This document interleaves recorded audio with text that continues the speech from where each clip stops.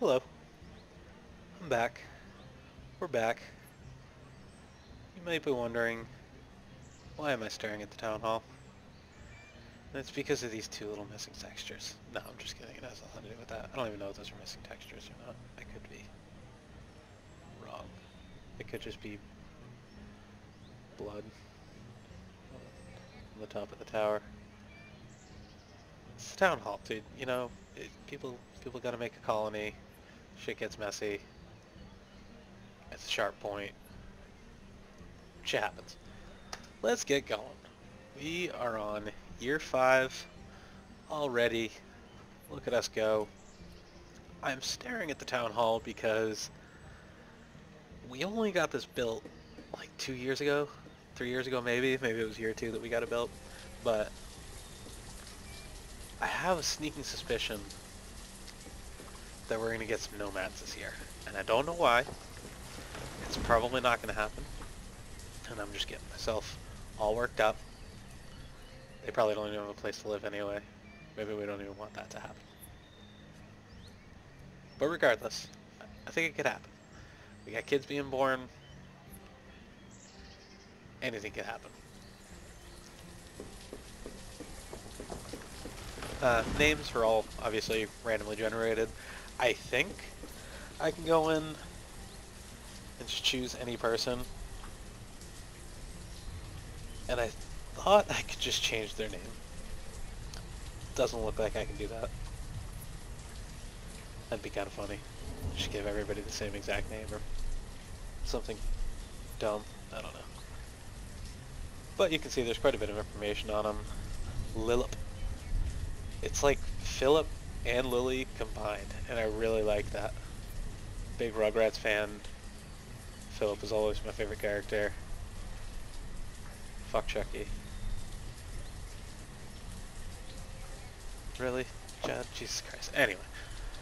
Uh, you can see his health, you can see his happiness, you can see his gender. Kind of, you know, a little 2014 of the game to just assume, but, it's 2020 now. The world's a different place. Can't make jokes anymore. Can't be serious anymore either. People don't like that one. Get down off my soapbox, and you can see his clothing is fair. You can see he's educated. Fuck yeah, Lillip. Get that bread. Catch those fish. Hell yeah. Uh, and you can see he's using an iron tool. Obviously, don't have any other options for tools. You can also go to his inventory. Homeboy is running low right now. Homegirl, maybe? Homie is running low right now, which is probably why he's going back to his house. He's probably fucking tired from fishing all day, or he needs some grub. Probably gonna end up eating fish. He is too. There's a chance he could eat beans or corn. Shouldn't eat the firewood. If he does, I mean, that's on him, but dude is cooking and eating his catch. Good on you. Self-sufficient, educated. We like you, Lillip. You're our favorite person in the game. We're gonna be real fucking sad when you're gone. You're only 32. Seems like you probably got a nice life ahead of you. Maybe you'll even have a career change. Stop having to just smell fish all day. That'd be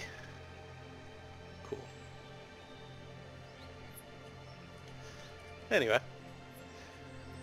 I also really like these building animations. Uh, obviously we're not going to see any more animations for this one right quite yet because we don't have any people building this mother. But once all the trees are cleared, once all the material is put down, the first thing that will happen is you'll get this cool little foundation wall. No slab. Who knows if it even goes in the ground very deep or has a footer or anything like that. Probably not, but it's, it's our perimeter. It's kind of cool. You can kind of tell that there's going to be like a chimney there because of how thick the brick gets. Be a cool little bay window looking place right there on the front. And then a nice little foyer entrance looking area. Uh, and this will eventually be our hospital. It'll look nice too. It'll have that same kind of brick look as the uh, town hall, kind of a whitish color, sort of like the school here. So that'll blend right in nice. And then I think, I was thinking at first what we might do for houses is kind of get them just stretched along back here and turn this area into like a little neighborhood. That way it gives us the ability to kind of stretch out this way, maybe around this corner here is where we'll start putting uh, mines, and then quarries are always kind of a pain in the ass to find a nice spot. Uh, I'll show you why. It's because they're fucking huge. So it doesn't look big when it's out there in the woods all by itself, but a quarry takes up pretty much our whole fucking neighborhood right here. They're, they're massive, so you really want to find a location that's good where people can get to it, people can mine it easily. You know, there's a lot of houses around it because quarries and mines can both hold 15 workers at a time. Uh, they pretty much never, I, I shouldn't say never max out, but it takes a long time before you actually have 15 people going in and out of either of those, but they're really big. So I also, for some reason, just like to keep them by the mines so they have this industrial sort of look. So what'll probably end up happening is it'll end up out here somewhere kind of in the ether. We'll make a little neighborhood of houses over here. Uh, obviously a big stockpile we'll want to put out here, but we do kind of want the stockpile to be within radius of, you know, being able to get down to the market, the trading posts and stuff like that easily. Don't want to be having people grabbing wood and stone from out here to have to carry all the way down to, you know, either the tools or the woodcutter. That would be very insufficient.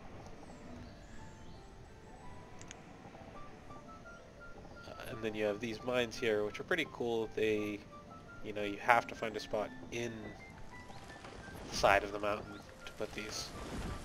They can't just sit, you know, in open land like that. So those are kind of nice. You get a couple of those. You can just kind of stick them right next to each other somewhere.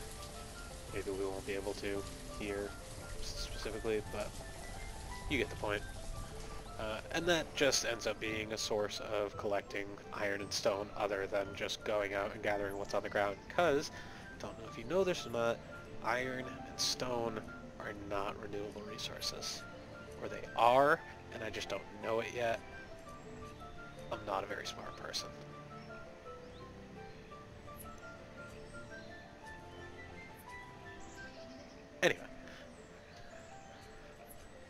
So once we get some people out of the fields here. Get this building going again. Looks like we can almost fully escort people out. We're going to zoom right in. It's really nice to watch. So you'll see them start building. That chick's going to town with that hammer. Dude's going to town with that hot hammer and that saw. And you'll see shortly here a little frame for the building will pop right up. Oh, look at that. Because it's stone, it kind of ends up with this you know, old military fortress that's been destroyed and abandoned looking thing. And we got the people done working the corn. They don't really have a spot to be. Stick them back in the blacksmith. Put him back as an herbalist. Leave you to his builders couple more students, a couple more people born. All good news. We are up to 2,000 food now. So we have found the secret. We got another half heart. So we're going back up on the health as well. Very nice. It's going to be perfect timing for this hospital. Basically, just going to be able to maintain health for the foreseeable future.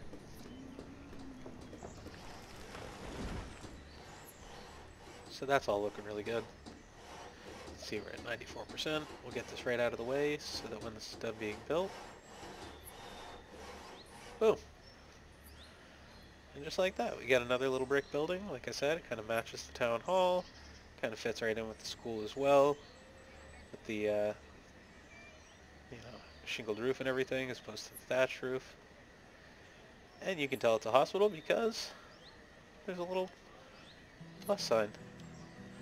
Maybe it's a second school just for math. No, probably not. Uh, so we can see there's no patients. good sign. We don't want patients. Patients means people are sick. We don't want people to be sick. People are going to get sick. I don't know why. Doesn't matter. So now we have a physician. And again, physician, teacher. They're the two big ones you never want missing. So you always want to keep at least one person as labor. Uh, I definitely have had a game before where I had it on a high speed. I was far into the game. I was just kind of doing my thing. I was probably staring at a fucking house like I usually do and just kind of taking it all in. And I had one labor, and my physician and my teacher died like right at the same time. And I'm pretty sure there were no patients at the time, but the physician was the one that got automatically uh, taken over by the laborer and the teacher died and there was nobody to take her spot and I had probably a dozen, dozen or so students at the time and they all just whoop right out to the workforce uneducated. Great that I had 12 workers quickly all at once, not great that it severely punished my uh, educated population.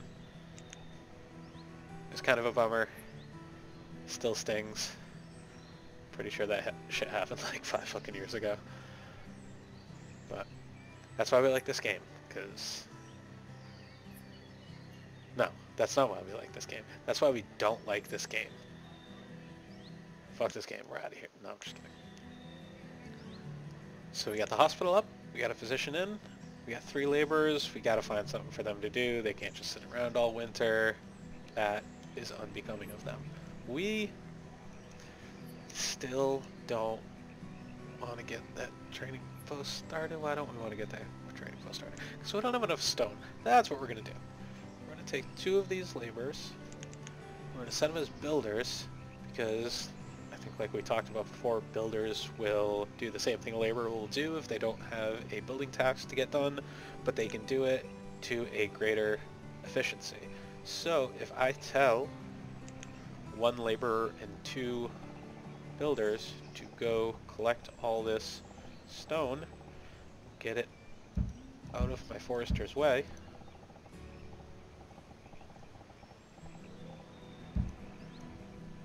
and I tell them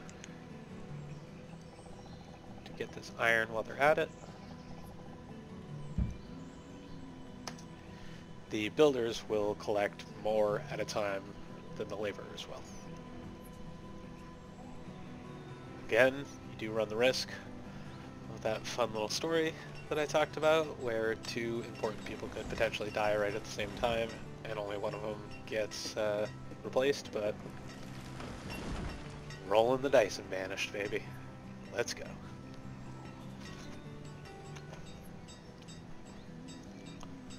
So I don't know what the max is, so you can zoom out pretty far. It looks like you can basically just get a straight top-down approach on everything.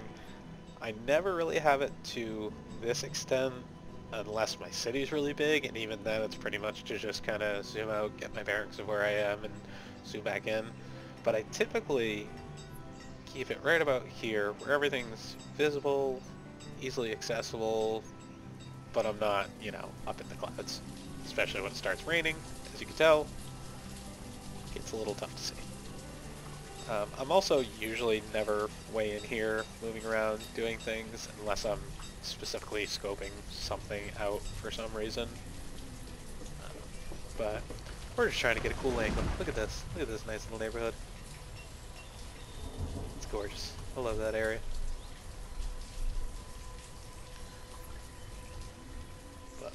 I also try not to give myself motion sickness by constantly moving the camera around. So as you've been able to tell, I, I, like to find these little angles. I'll find one for some reason kind of going off the water like this. Seems to be my forte for how I like to look at the map. Um, and then as you can see, it kind of, I don't know why you guys are off the wall a little bit there. Veins. Um.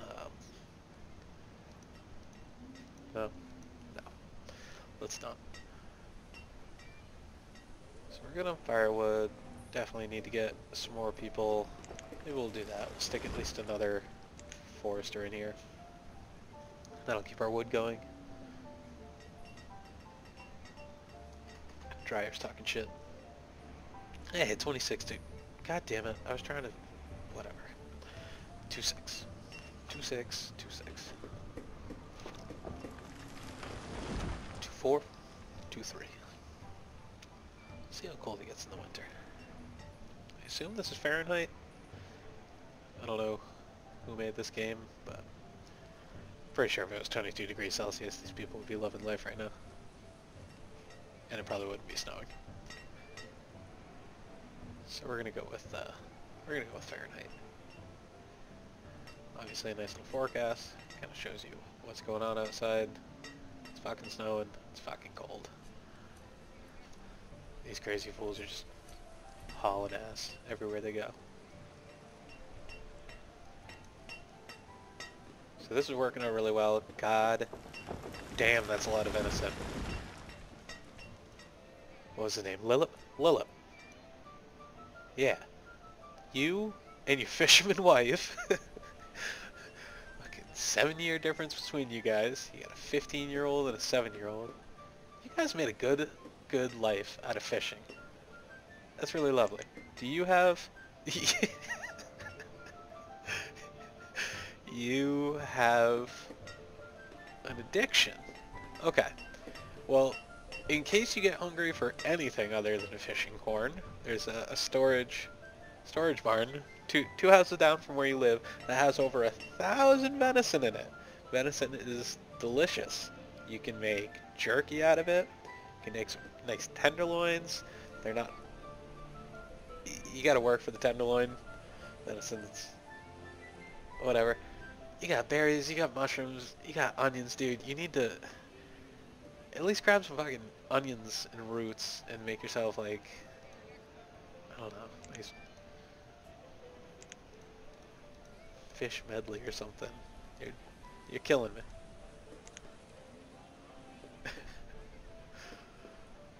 Whatever. Keep warm. Keep eating that fish, brother. I like your style. You and Jolene. I can't even pronounce your fucking kids' names. It's too late. I'm not, not going there. We're already the late winter. Seemed to be another quick episode. Not too many pauses necessary for that one. Got that gathering going up again, all that stone that they just picked up. God damn. Plenty of iron. We're in a good spot. We're in a good spot to do some good things. We got 22 adults, we got 10 students. We're still having kids I think they might be slowing up on the kids. Maybe another couple houses are in order. If we're going to be building some houses, we might want to get some stuff going so those people have places to work. Uh, speaking of which, we're going to wait until... A little too soon on that one. Thought I could grab it just in time. Uh, the late winter becomes early spring. Thank you. And aside from getting these, let's see, one, two, three, and I want to leave that woodcutter in there.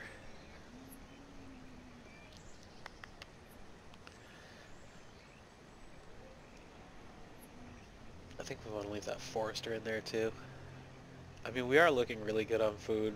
We just kind of want to keep the crops going just because. Uh, but I think what we can probably do... I I feel bad. I almost don't want to take a fisherman out because I don't want to fuck up the beautiful thing that Lillard and uh, Lillard? Lillip? Lillip. What if I may call him? Lillard? Whatever. Lillip and Jolene they got something going on. They're trying to teach their kids. You know what's going to fucking happen is Hellsworth's going to get out of school. He's going to be like 16, 17 years old. He's going to have his whole life ahead of him. Educated. Straight and narrow. And he's going to take over the family business. Him and little Lorena. They're going to... They're going to fish their fucking life away. Alright, so we'll take a gather out. We can't, we can't mess them up from what they're doing. And then we gotta turn these on. And then before we unpause, before we finish the episode, I guess I should say those backwards if we're not going to unpause until we finish the episode. Hmm. You know, I don't know how much I like that. My thought is I'm going to get a pasture going somewhere like right here.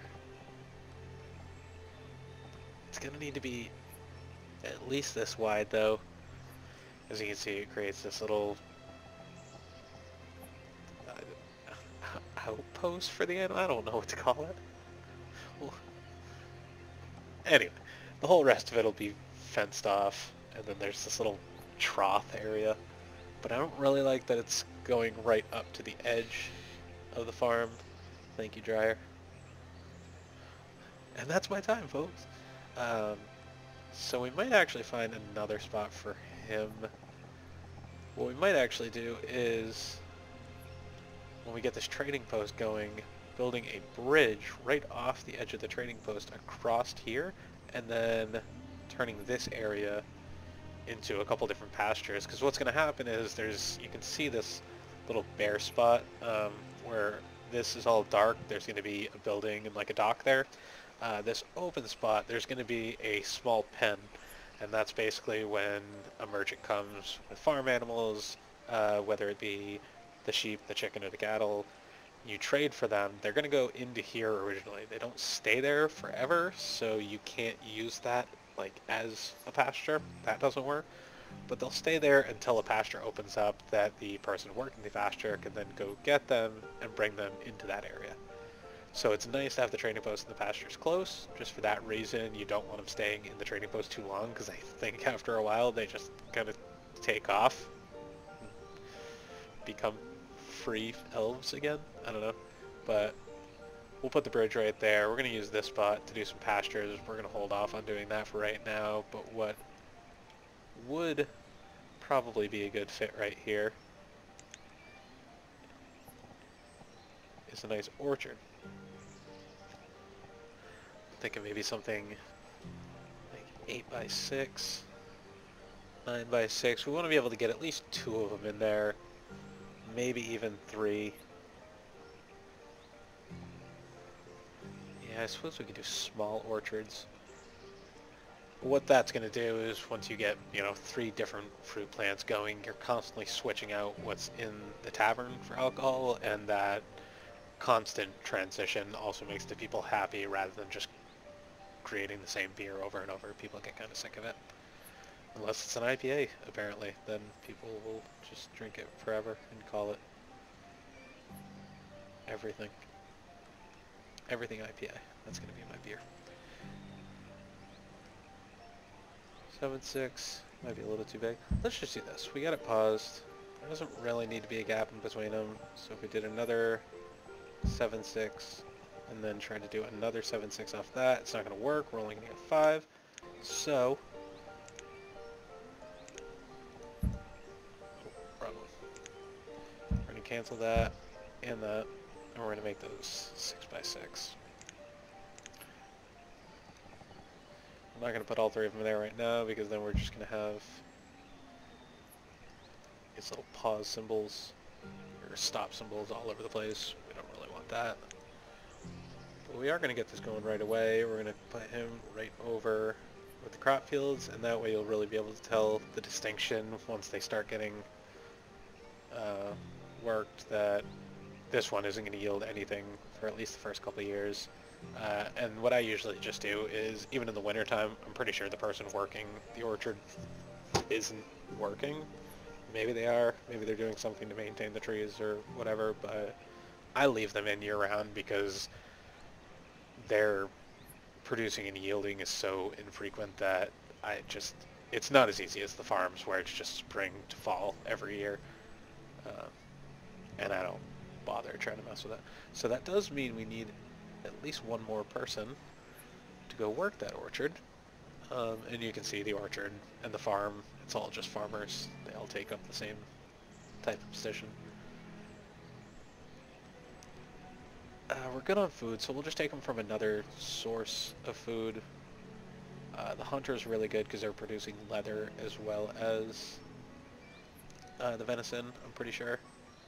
Maybe I'm wrong on that. I'm probably wrong on that.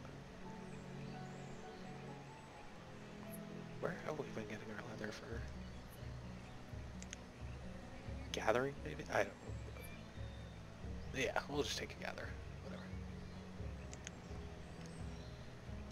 And that gives us our additional farmer. And that'll get our little orchard going. And within a couple years, that'll be producing some fruit. We'll be able to do the brewery, and we will probably switch off between berries and pears from now on until we start doing some more trading, or any trading at all, which I haven't started yet. That might be another thing to get going this upcoming year, but we are going to save that for another time. We're looking good. It was, uh, it was another good year, year five. We're on to year six.